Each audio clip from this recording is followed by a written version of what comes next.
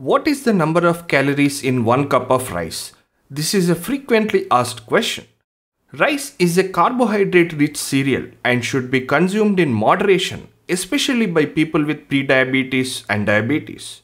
One cup of cooked white rice weighing 186 grams provides us about 242 calories or 1010 kilojoules of energy.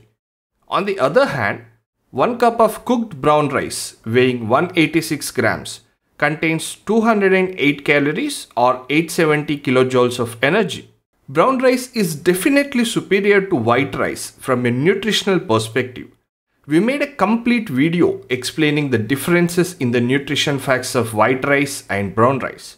I would suggest you to watch it to learn more.